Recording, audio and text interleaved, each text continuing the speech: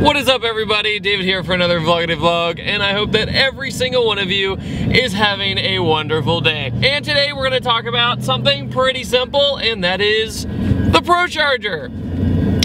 Again, so there's been some frequently asked questions about the Pro Charger system and I've had the system for about a month now, believe it or not. Time flies. So we're just gonna go through some of them and talk about it. So first things first, how does it feel? Okay, well, I am still on the canned tune out of the box, but it's been data logged and everything else. I'll make sure to make a video about how to data log, by the way. Uh, I'll do that, I promise. I haven't really had any issues with it. The car drives, it's safe.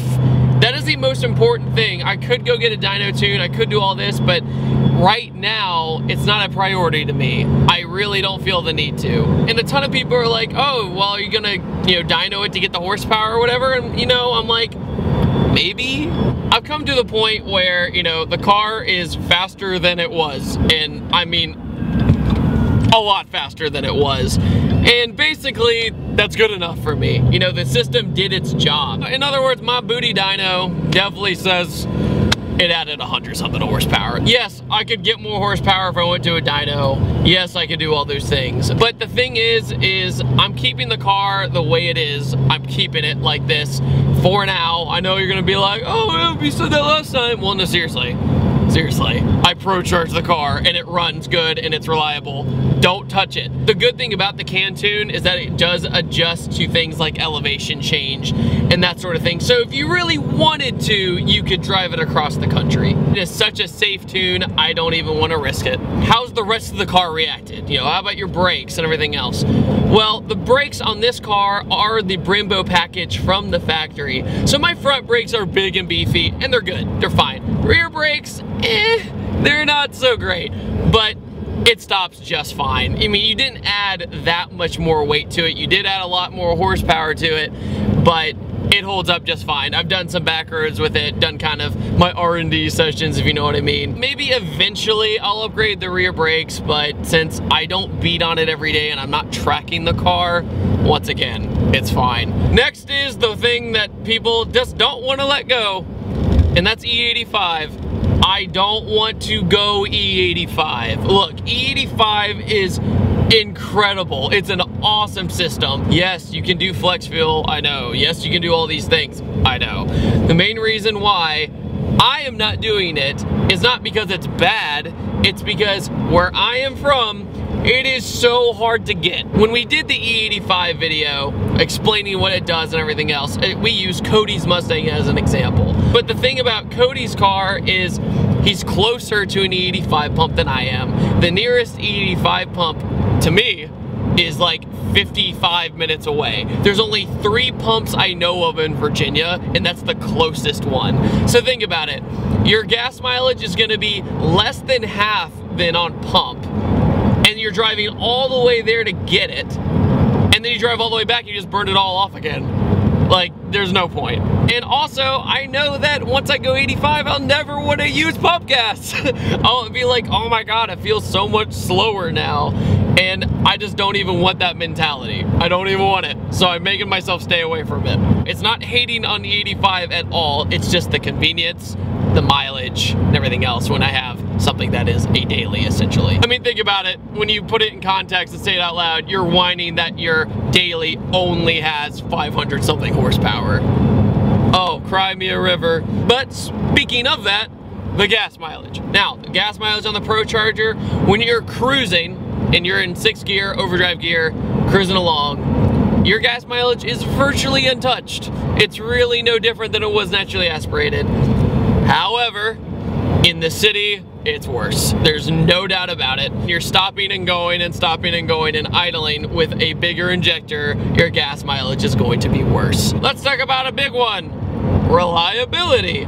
So right now I have, let's look. I need to look at my little info. Okay, so I have 1,808 miles on the system now, on this car. So two of those were road trips. One was to Virginia Beach. You might remember a guy named Brandon Gazanigo. He was on my channel years ago now. Well, he got married and he had a baby. So I went to go visit him and congratulate him. So, congratulations to you, Mr. Gazzaniga. You're about that family life. And then after that, I went to Baltimore and we did all the, the Gray 240 things. Once again, that just shows how crazy it is that we put the system on and I was able to drive that far without any issues, knock on steering wheel. Speaking of that, now that I have 1800 miles on the system, I'm going to have to change the oil in the supercharger soon. Well, to change the oil in the supercharger is extremely easy. All it is is you take the oil they supplied, uh, just a little bottle about that big that I showed you in the review, uh, install video, excuse me. And also they have a little line where you can drain it. And you just drain it and then you just do the process over again. So after the break-in, which is this one, it's every 5,000 miles.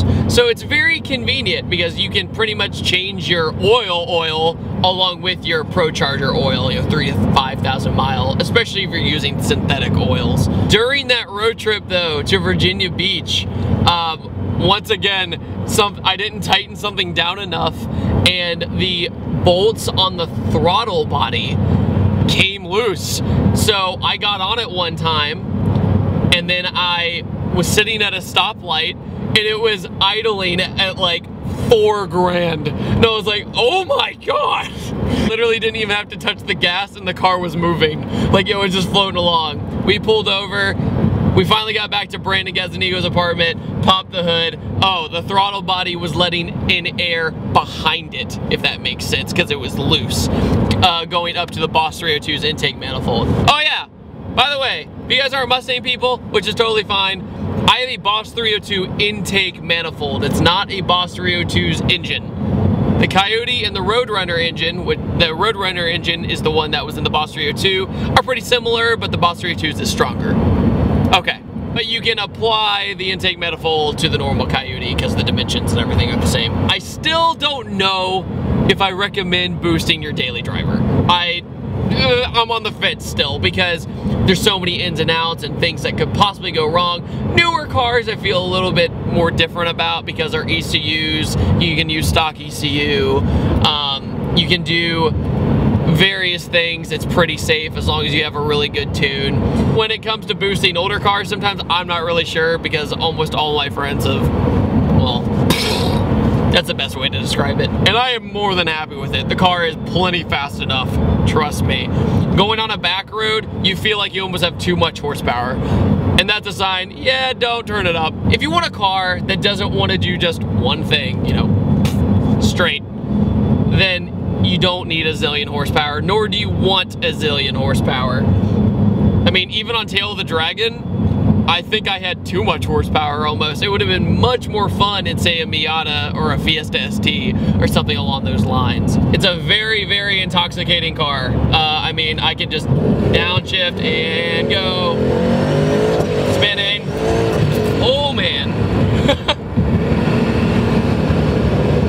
Tires were not warmed up. Oh yeah, let's talk about that. Hooking.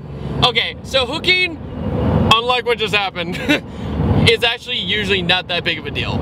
Usually the car will hook, which is actually very impressive for these Mickey Thompsons. And because they have a pretty small sidewall.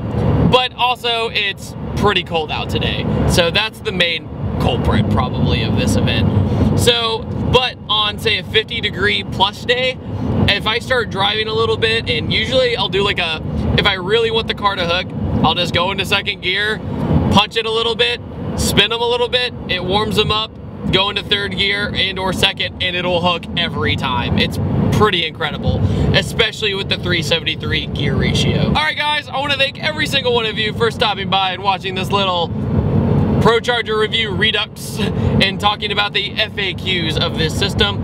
Thank you so much for stopping by. Make sure to subscribe if you want, and I will see you guys later, and take it easy. Have a fantastic day. Vlog